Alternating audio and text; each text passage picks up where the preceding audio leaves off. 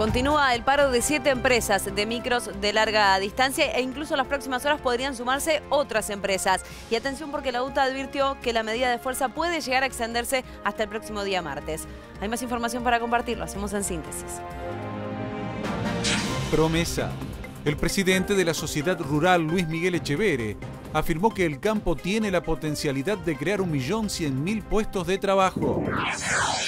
Lesa humanidad. Dos ex policías, Omar Noche y Juan Antonio Mulazano, fueron condenados en Santa Fe a ocho años de prisión.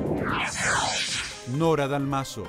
La Cámara del Crimen de Río Cuarto apartó al fiscal Daniel Miralles de la causa por el crimen de la mujer.